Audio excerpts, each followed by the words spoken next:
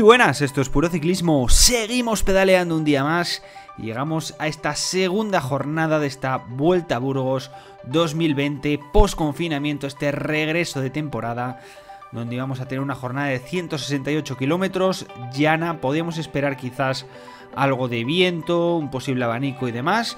Iba a tomar ya la salida el pelotón en un día bastante caluroso, buena temperatura, día muy agradable hoy en Burgos. Se iba a formar la fuga con cinco corredores, Nicolau del Caja Rural, Fuentes del Burgos BH, Fedili, Berza y de nuevo Galván del Kerr Pharma. Iban a tener una ventaja máxima de 5 minutos, pero bueno, controladísimos por el pelotón, los equipos de los embaladores, que no iban a dejar escapar esta oportunidad de llevarse la victoria de etapa. Como decimos, finalmente el viento que no aparecía, día muy tranquilo sobre todo para los hombres que tendrán que jugarse la clasificación general, sobre todo en el día de mañana, que luego repasaremos esa tercera etapa con final en pico en blanco. A falta de 15 kilómetros que eran cazados todos los fugados y ya el pelotón que se preparaba para ese último empujón, ese sprint final, ese duelo entre Sam Bennett y Fernando Gaviria. Iba a llegar ese duelo, la verdad que no hubo mano a mano. Fernando Gaviria que estuvo muy muy habilidoso y con una fuerza descomunal. El colombiano derrotaba a su rival Sam Bennett que no se podía acercar tampoco de mar que quedaba, como vemos ahí, dos metros por detrás. Sobre todo esta imagen, como Fernando Gaviria, el segundo puesto de pelotón, va por el exterior espectacular. Qué veteranía hay de Fernando Gaviria para encontrar el hueco y lanzar ese sprint final. Como vemos, los metros que mete el colombiano son tremendos y la fuerza con la que acaba es descomunal. La verdad que un momento muy bueno para Fernando Gaviria. Se le ve con muy buenas piernas después de que fue el primer gran positivo del ciclismo, ¿no? Con, eh, en ese Tour de los Emiratos que se tuvo que cancelar y la verdad que una victoria para él pues que se la tiene bien merecida. Segunda posición como decíamos para Arnaud Demar, Sam Bennett finalmente tercero, Mateo Trentin cuarta posición, a ver Asturi quinta plaza para él.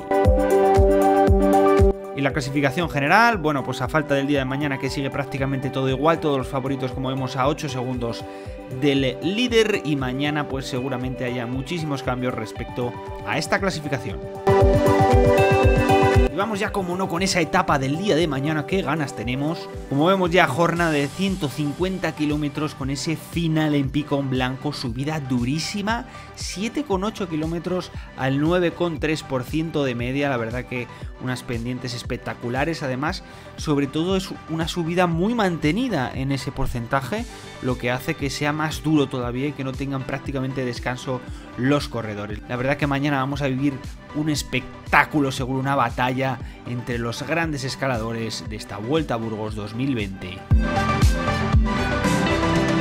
Y entre ellos, como no, esperamos seguro a Richard Carapaz, el actual ganador del Giro de Italia 2019.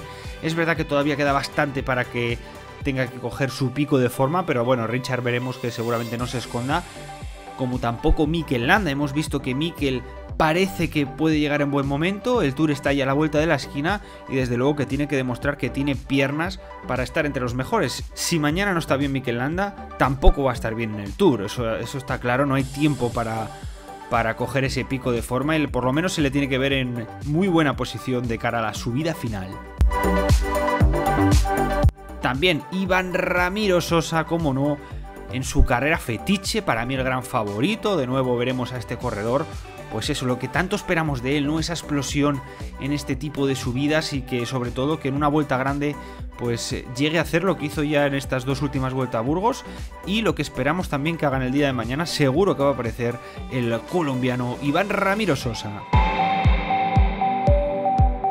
Y veremos también lo que puede hacer Renko de Benepoel, la verdad que bueno, esperamos quizás, eh, desde mi punto de vista, creo que va a ser demasiado duro para él, creo que todavía no está preparado para este tipo de subidas y hombres como decimos como Landa Carapaz, eh, Iván Ramiro Sosa o también eh, Esteban Chávez, Simon Yates, creo que están un punto por encima de este corredor en este tipo de subidas y lógicamente a priori lo que esperamos es que pierda tiempo, pero siempre nos sorprende el jovencísimo corredor del Decerno Quick Step.